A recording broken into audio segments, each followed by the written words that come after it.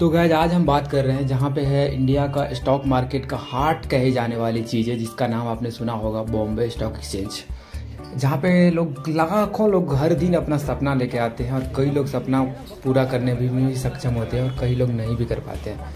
तो इतना बोलने के बाद आप लोग ज़रूर समझ गए होंगे कि हम बात कर रहे हैं the city of dream Mumbai की। ये है मुंबई। एक्चुअली तो गैज मुंबई दुनिया का दूसरा ऐसा शहर है जो रात में भी काम करती है। एक्चुअली हमारे लेफ़्ट और राइट साइड दोनों साइड जो आपको दिख रहे होंगे, ये लोग भी कहीं ना कहीं अपना काम ही कर रहे हैं। पेट पालने के लिए लोगों को पता नहीं क्या क्या करना पड़ता है।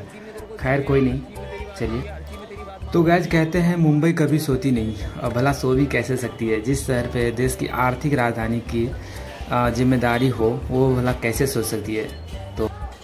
और जिस शहर को समुद्र के लहरें रोज झकोर के जगा रही हो, वो भला कैसे सोच सकती है? तो इन्हीं में से एक है मुंबई भी। आप देख सकते हैं, लोग अपने अपने काम में लगे हुए हैं। कहते हैं यहाँ पे हर तरह के लोग रहते हैं। दस रुपया के वड़ा पाव खाने वाले से लेकर के दस हज़ार के ताज होटल में लंच करने वाले लोग भी इस सिटी में ही रहते हैं।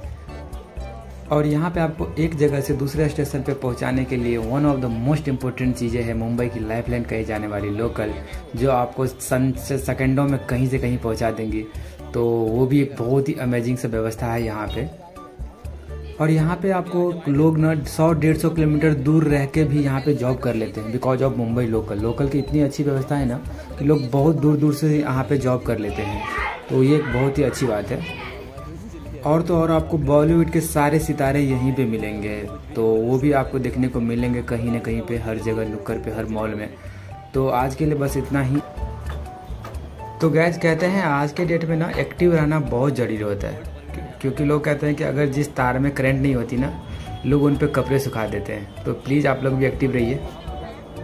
तो गैज मुंबई से रिलेटेड हर तरह की जानकारी पाने के लिए हमारे चैनल को सब्सक्राइब ज़रूर कर लीजिएगा। मिलेंगे आपसे किसी अगले वीडियो में। तब तक के लिए बने रहिए और अपना ध्यान रखिए, खुश रहिए, आबाद रहिए।